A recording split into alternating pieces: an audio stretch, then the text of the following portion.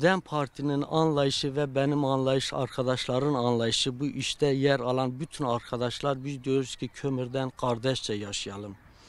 Yani tek çıkar yolumuz burada kömürde demdir.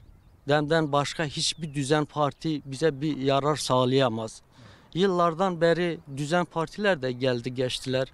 Ama kimse Dem Parti bundan önce 3 dönem diğer arkadaşlar burada görev yaptılar. Onların görevleri tamamladı. Şimdiki mevcut başkan bir 4-5 günü var. Hala canla başla çalışıyor. Demiyor ki benim sürecim tamam da ben gidip oturayım evimden. Anlayış bu kömüre hizmet yapmaktır.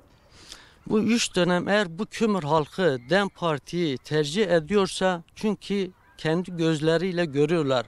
Eğer bir hizmet yapılmışsa DEM yapmıştır. Bir hizmet yapılmışsa DEM partili arkadaşlar hepsini kucaklamışlar. Buradaki vatandaşı dememişler ki bu oyu bana vermiş yahut vermemiştir. Eğer bir hizmet yapılmışsa oy veren de vermeyen de herkesin kapısına hizmet götürmüştür.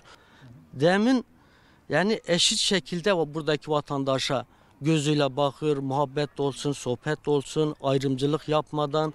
Yani burada Sünni kardeşlerimiz var, Alevi kardeşlerimiz var. Hepsini biz kucaklaşıyoruz. Demin farkı biz hepimiz eşit şekilde muamele yapıyoruz. Bir derdim bir vatandaşa sıkıntı olursa kapımız 24 saat açıktır. Hem belediyenin kapısı açıktır hem de benim kapım açıktır buradaki halka. Halk da bunu görüyor. Diğer seçmenler, diğer diyelim ki partili arkadaşların adayları Adıyaman'da oturuyorlar. Vatandaşı bir sıkıntısı olursa Adıyaman'a gidip gelene kadar zaten o ne sıkıntıysa o hal olmaz yani. Eğer biz başkan olacaksak komşumuzla, seçmenimizle, arkadaşımızla aynı havayı teneffüs ediyoruz. Bir sıkıntısı varsa o sıkıntıyı halkla birlikte paylaşmak istiyoruz. Yani aynı anda o sıkıntıya müdahale etmek için burada oturuyoruz. Halkımızın içinde oturuyoruz. 3500 nüfus var kömürün hepsinin başkanı olacağız. Ayrım etmeden demeyiz ki bu oyu verdi yahut bu vermedi. Hizmet olarak eşit şekilde hepsine 3500 kişiye hizmet yapacağız. Hizmet yaparken bir mahalleden iş yaparken oradan kafamıza göre iş yapmayacağız. Encümenlerimizle oradaki halkın fikrini, düşüncesini alarak biz bu hizmeti yapacağız. Hele sizin fikriniz ne, düşünceniz ne hep beraber kömürü kalkındırmaya çalışacağız. Biz başka büyük vaatler vermeyiz. Ben yarın doğal gaz mı getireceğim, şunu mu yapacağım? Ama belediyenin bütçesi, buradaki arkadaşların gücümüz yettiği kadar hep birlikte kömürü kalkındırmak için elimizden gelen her şeyi yaparız. Taşa ne hizmet getireceksek, söylenmişsek seçimden önce, seçimden sonradan o hizmeti getirmemiz lazım ki o seçmenin gözünün içine bakarak o seçmen de demesin ki DEM Parti ve arkadaşlarıyla birlikte böyle bir vaat verdiler de yapmadılar. Olarak eş başkanımız Bedriye Polattaş adaylığı eş başkanı olarak bunu gösterdiğimiz günden beri birkaç hafta geçti gözaltına alındı.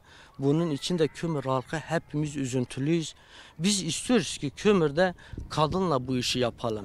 Kadın olmadan olmazdır. Kadın olmasa hayat olmaz.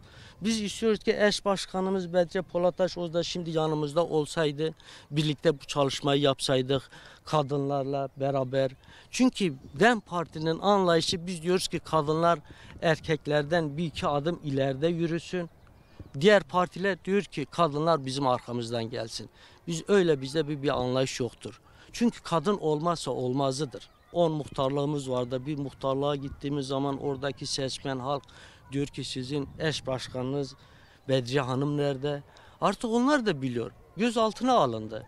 İşte bu da devletin bir politikasıdır. Hepsi diyor ki milletin gözü açılmasın, kadınlar geride kalsın. Ya kadın olmazsa zaten dedim ya hayat durur. Adına buradaki kömür halkının seçmene diyorum ki oyunuzu kendi şahsınıza verin. İradenizi kullanın, adınıza verin, isminize verin. Yani kendinize oyunuzu kendinize veriyorsunuz. Dem Parti'ye verin. Dem Parti'nin zaten anlayışı farklı, şeffaf bir belediyecilik yapacağız. Bu da halkın gözün önünde ne işler yapılacaksa bütçenin, Yani geliri, gideri, çalışmalar hepsi şeffaf şekilde yapılacaktır. Ben halka diyorum ki oyunuzu DEM Parti'ye verin ki kömür huzura kavuşsun. Gençlere güzel bir spor sahası yaptırmak. Bu gençler sağa sola gitmesin. Gelip arkadaşlarla birlikte spor yapsın. Spor alanları olsun. Bak güzel bir çevremiz, bir doğamız var. Yani böyle park alanları açmak istiyoruz. Bu gençler gelip parklarla otursun, derdini söylesin.